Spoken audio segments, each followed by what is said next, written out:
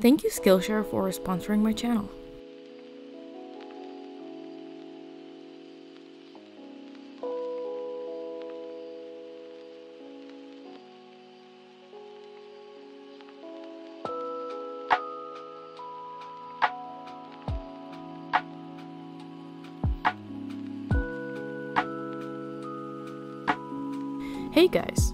This long time coming video, I will give you an overview of my character design process. Let's call it the intuitive approach. The reason why I'd like to call it that is because I personally do not like to complicate the process for myself with a myriad of options, like you would typically see in art of books and uh, professional character design portfolios. I do think it's totally normal and often expected to give the client a lot of options. It's a standard part of the process in many professional settings, especially when the project development budget can afford the endless tweaks and options. However, when I'm designing characters for my own stories and my own personal projects, I take a much, much simpler approach, which is what I will be sharing with you today. So this will be a casual conversational type of video. Please don't interpret this video as a tutorial or um, some sort of instructional manual. I simply want to chat about how I go about designing my own characters and also show you the entirety of the process of this drawing of five new characters uh, that I did a couple of weeks ago. So the first thing I want to do is address the hypothetical question of how can it possibly be enough to just draw a character once and call that a finished design? Because that's exactly what I do most of the time. Well, I'm going to explain why I personally think that is completely acceptable. Firstly, why would I even bother posing this question? It's mostly because I come from a mindset of sometimes being bogged down by vague external expectations picked up uh, from various sources over the years. Um, whether it be art school, um, watching instructional videos, like looking at tutorials and whatnot. And this can be a huge hindrance to my creative process personally, and I am willing to bet that there are many of you out there who can relate to this self sabotage. It's very common. uh, so that's why it must be dealt with first. There are a lot of people and instructors out there who will profess one way of doing something and claim that it is the proper way of going about things, and this is just how things must be done. Sometimes this can be more or less true, I think, uh, especially when it comes to studying fundamentals, but with a lot of other things, not so much. I remember being told by multiple sources that the process of character design requires a lot of exploration and a ton of crappy attempts until you finally arrive at a great design. And it can be a tough road to the final great design, but it's worth it because it's important to explore all the possibilities to arrive at the best one. This is how you allegedly get from a mediocre design to a great design. And is this true? Well, I don't know, probably. If you're end goal is greatness. In my opinion, though, uh, what ultimately supersedes this quote unquote great result process is honestly just your personal priorities, which is the number thing that you should take into account when you're approaching character design. My point is, you should just own your decisions. The last thing you want to do is waste a bunch of time drawing a bunch of options just because you think that that's what you're supposed to do and that's how you're supposed to design characters. So, yeah, my personal priority is to draw characters that I like, to draw characters that are fun. And to me, a great character design is too nebulous of a concept uh, to be objective, and I just want to draw characters that uh, I personally have fun drawing, and that's it. And I do not aim at greatness in this way at all. So, to me, great character design is when I have a blast drawing, and that's enough. This is why drawing a character once and calling the design done is perfectly fine for my own personal purposes.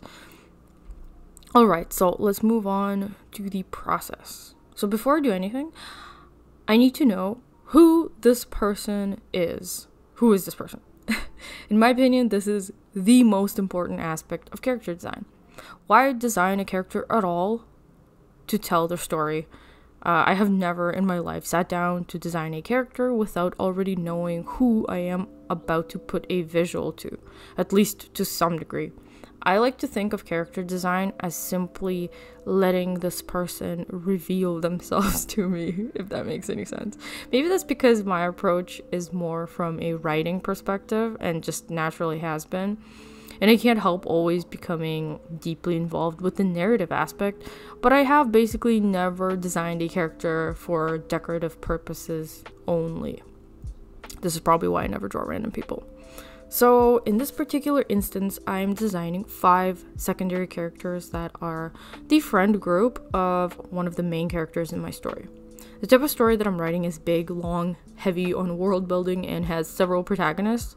So the secondary characters are plenty, but the story is complicated, and I do not yet know what will happen with these guys, so I won't treat them as disposable pawns to fill some seemingly cookie cutter contrast roles. I go in considering the possibility that they might play more important roles in the future because who knows. So I treat them like people right off the bat instead of just drawing randoms like while I'm already executing comic pages where they first appear. Obviously, I can't do that with all characters that appear, but since I know that these guys will be there in the background, um, they will reappear a bunch of times, I figured I might as well just know who I'm dealing with preemptively. So, here's a list of what I would consider to be vital, unskippable information before doing a character design. So, that would be their sex, age, name, core personality traits, their place in the contextual hierarchy of the story, their socioeconomic status, their aspirations or lack thereof, in other words, maybe a goal or something that they might have. Um, their basic family structure, super simple, like nothing too detailed, and their relationships to each other. Also, um, a simple, like one sentence thing would be more than enough to get going. So, first, is the basic visual cues, which is sex, age, and name. Sometimes the name can come later, but I like to think of one as soon as possible. Naming someone is what makes them feel more real to me, so what I sometimes do is peruse lists of names and just take down all the ones that I like and then later use this list as a quick reference for character naming when I need to. So the second is core personality traits, uh, the attitude they put out, what they're generally like, and what they are or aren't hiding beneath the exterior, and how much of the exterior is calculated versus unnoticed by them. This is typically highly informed by the other things that I mentioned, so I will go on to say that the third thing is their place in the contextual hierarchy which in this particular case is the art academy in the town of Gloamingvale in my story, where they all reside, and their socioeconomic status. it's important to place characters within the world and uh, determine what role they have in the story and in this world. Otherwise, why are they even there at all? This particular group are the student council. They are all very high status and at the top of the student hierarchy in terms of school involvement and achievement. So their general economic status is near the top to various degrees, and they're basically all the rich kids. And that informs their personality to some degree. But this is still a lot of fun to do because despite occupying similarly high hierarchical positions and um, having high socioeconomic status, they all differ from one another quite a bit. So, and lastly, um, what should kind of be taken into account is their relationships with each other if you're designing more than one character. Uh, so, this is the most fun and probably the most relevant to the story, but also somewhat complicated it's complicated because people's relationships are complicated, obviously, but I do like to know at least the gist of like what they think about each other and what their general attitude towards each other is. It often builds upon itself organically if you just think about them, so something, you know, to consider. Uh, this obviously affects how they will look at each other and how they will interact with each other. So, I'm gonna give you a brief summary of the first character in this lineup, and I will not get into the other ones because I feel like that'll just make the video ridiculously long. So let's just start with the first character, and her name is Astrid Ringwood. She's 17 years old, female, and she sees herself as better than everybody else and sees Noelle, uh, who's the last character in this lineup, and she is one of the main characters of the story, as the only possible threat to her position. But she enjoys having a friendly rival. She also thinks that envy is beneath her and shuts that part of herself away, which results in many underhanded jabs that just spill out, mostly aimed at Noelle. Astrid is very confident and has been told her whole life that she's destined for greatness, which she believes wholeheartedly, making her somewhat lazy, and so she mostly concerns herself with frivolous activities and isn't aggressively seeking status. She thinks she's already at the top, regardless, which appears to be true for all intents and purposes. She's from a very rich family and has an inappropriately generous allowance. I won't bore you with her relationship to all the people in the lineup, but other than Noelle, the most important one is Alma, who is Astrid's cousin. She's the second character in the lineup. They're pretty much inseparable and have been very close since birth, so they're a bit like sisters. Astrid genuinely cares about Alma, but can be unintentionally condescending due to her lack of empathy. Alright, seems like a good place to take a minute and tell you about this video sponsor, Skillshare.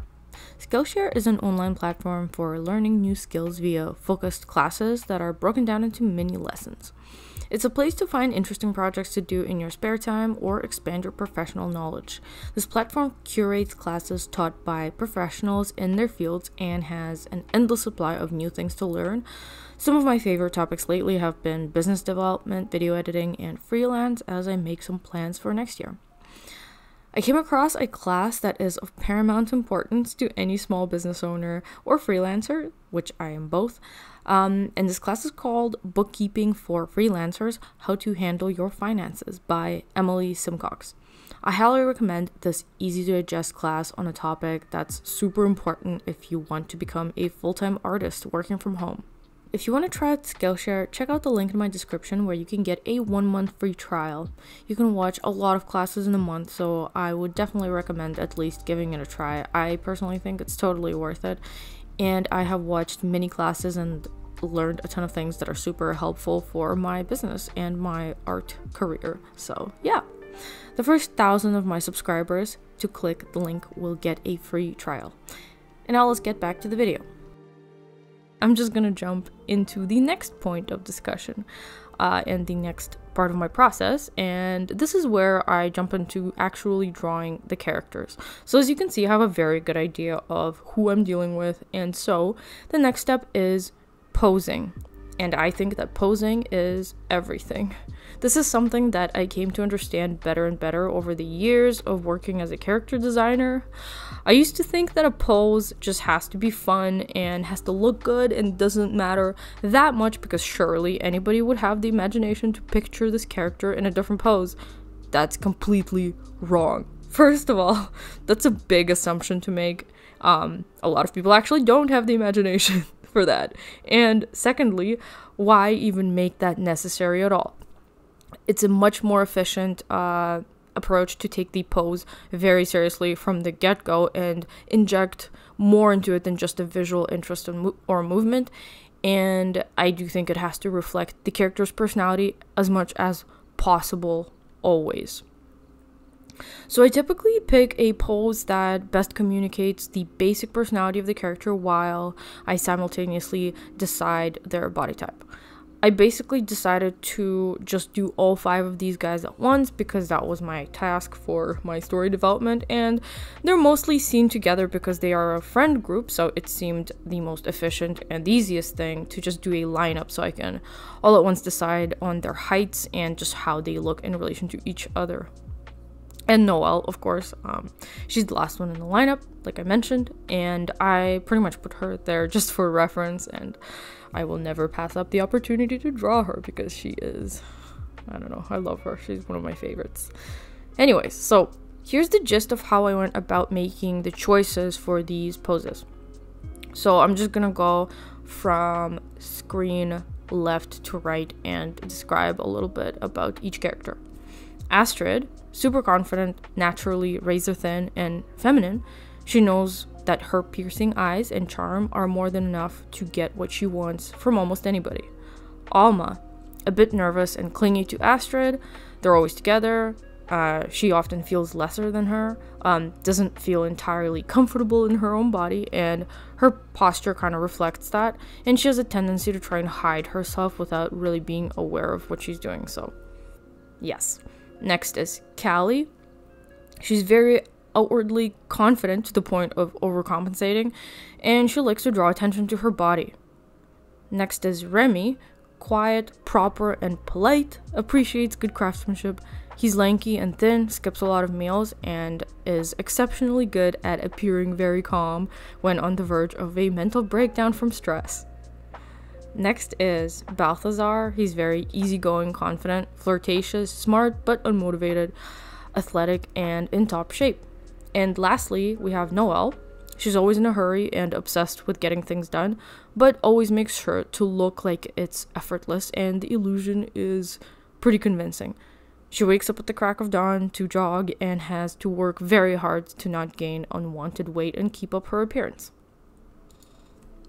So, those are the things that I had in the back of my mind while I was picking the poses for these characters.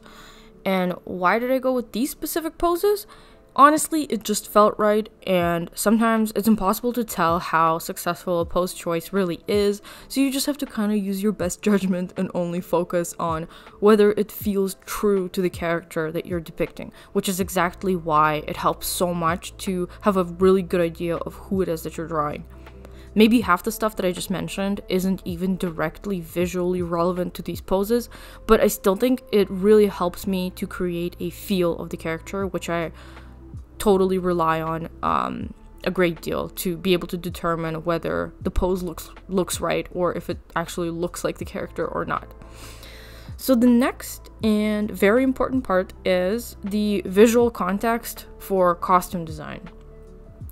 So by visual context I mostly mean taking the costume decisions of the character in relation to the context of the world and the story that they inhabit.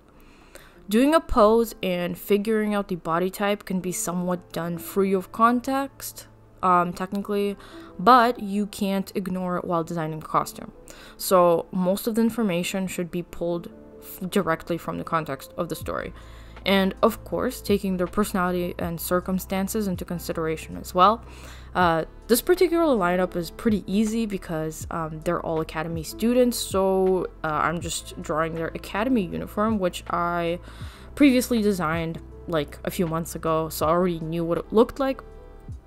And for that reason, there isn't a whole lot to say when it comes to picking the costumes in particular, but the thing that I wanted to talk about, and as you can see, they all have different shoes and accessories, and that's what's so fun about doing character designs in uniform.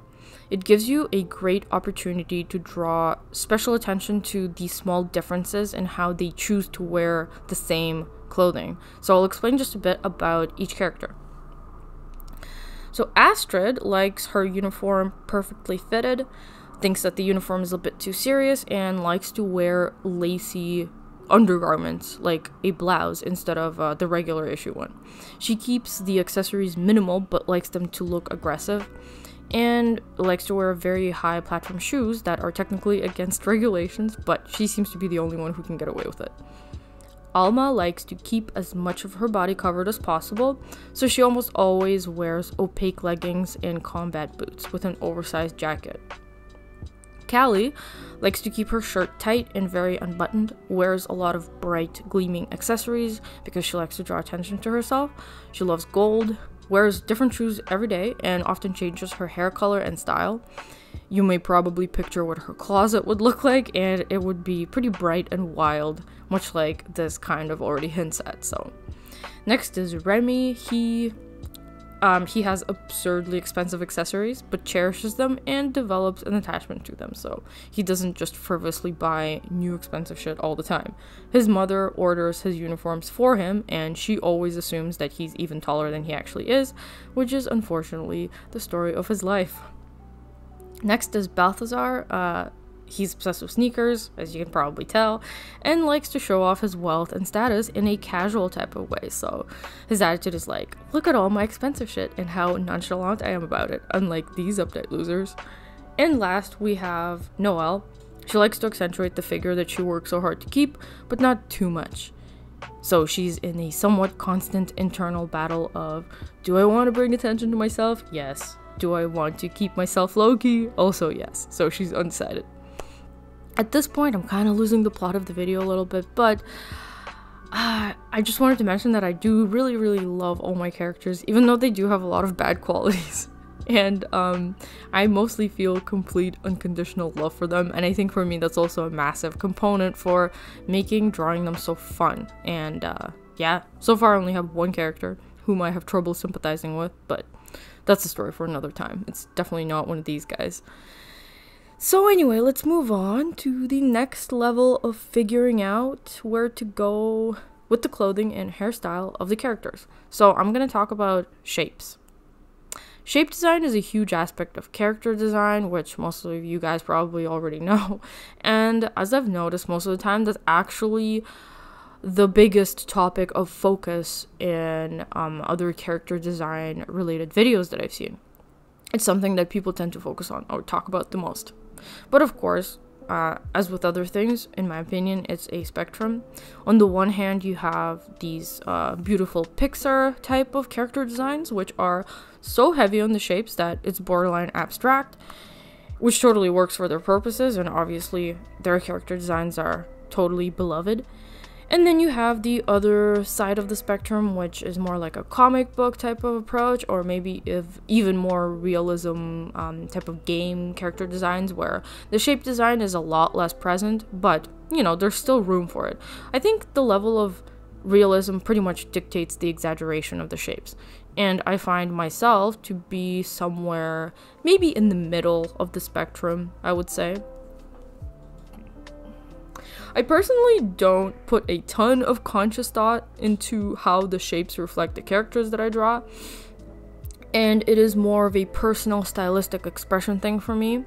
And I would say that there's a certain sharpness and maybe even like an aggression that characterizes my line work and artwork in general in a lot of instances, especially when I do digital stuff. But when I look back on these, I did notice that I think I subconsciously use some shape language techniques without really like making it a conscious decision, even though they are somewhat subtle. Um, I can just go in and like observe some of my choices post hoc, even though I didn't consciously make them as I was drawing these characters. So, with uh, with Astrid, at first I thought she'd be your typical like beautiful blonde type of character, like Rachel McAdams in um, Mean Girls.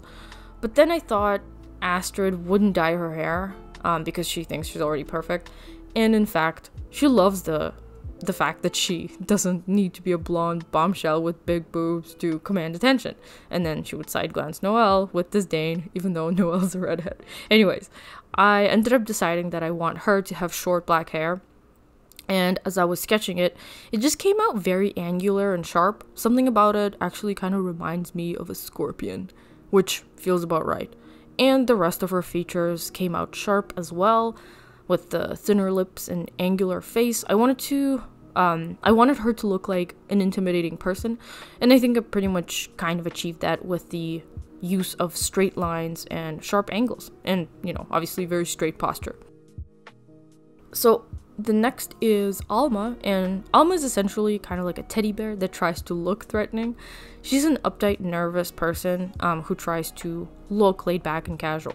So I wanted her hair to be bold, but also kind of fluffy and endearing looking. Uh, she thinks it makes her look scary, but in reality, I think she just looks cute. I feel like that's what it looks like to me, so it works for the time being. And um, yeah, I know I didn't mention much about her shapes per se, but I honestly feel like I take more narrative deci- I make more narrative decisions than visual ones. And whatever happens visually is just inexplicable because on uh, on my my only guide is usually just whatever looks good and feels right for the character, which is exactly why I titled this the intuitive character design process. So next is Callie, who is the peacock of the group. So I wanted her silhouette to kind of pop and look more lively than the others. She's very petite and in great shape. And um, she's got a bit more defined muscles. And her overall vibe is kind of like a party girl, chaotic type of person. this uh, this is why her tie is in a bow and she's got these big earrings. I went over several different hairstyles in my head and they all kind of worked. I couldn't really pick any particular one that was better than the rest. So I figured she does seem like someone who would frequently change her hair and bleach her hair and and then come crying to Astrid about how her hair feels fried. to which Astrid would say, That's what you get for being extra. So yeah, moving on. Remy was very straightforward. I knew that he was the tallest in the group, um, but also skinny and proper, not particularly into individuality. The classic kind of like lanky, intelligent, quiet nerd type, relatively stereotypical, just preppy and clean. The only reason why he isn't wearing glasses is because Callie rudely pointed out that he looks like a boring nerd with them on, so he went through the trouble of switching to contact lenses, but nobody noticed. Next is Balthazar. So here I actually ran into a little bit of a problem. He was more difficult than the rest. So maybe some of you guys know uh, my other older characters. Uh, Balthazar is Sweet's little brother. Um, Sweet is one of the girls in my cover page. So if you want to get a quick visual on her, um, it's like my YouTube page cover um, image thing. Anyways, so yeah, Sweet has white hair, and at first I wanted Balthazar to also have white hair as well. I didn't really think too hard about whether it was like a genetic thing or not, but anyways, unfortunately, I, I ran into the following problem, which is Ekko from League of Legends. Even though I could try to make Balthazar look different, I still feel like people would compare him to Ekko just because he's a popular black dude character with white hair. And especially after Arcane came out, he had like a couple of different hairstyles, so that pretty much like really killed my like possibilities there. Um, because there's there's only like a narrow lane when it came to hairstyles that I could choose for Balthazar because he has a certain vibe. So anyway, I had to sacrifice the white hair and spare myself from a million comparison comments. Um, I know that it may sound stupid to do that, uh, and honestly, I am personally not too concerned with originality because I do think the personality of the character is more important than their visuals, or at least as important. But, and they are quite different characters, obviously, but like the vast majority of artists who create their own characters, I'm not a fan of comments that just point out how it just looks like some other other characters. So, you know, whatever. It was a it wasn't justified sacrifice for me. And so Balthazar ended up having regular old black hair, which is, you know, honestly fine. I figured that maybe it would be refreshing to just have a very normal looking dude character. After all, he is a pretty stereotypical popular jock type of guy, so he's got his own problems, but for basic purposes, he's just like Astrid's male counterpart. He's the top student, most popular guy, confident by nature, etc. And so, lastly, I might as well talk about Noelle, even though I designed her a million years ago. She actually hasn't changed all that much at all from the very start, and um, it's been a crazy long time. But yeah, as some of you may remember, she used to have very big curly hair, and she still does. She just puts a lot of work into taming it for school. So, like I said, she toes the line between drawing attention to herself and not wanting any attention.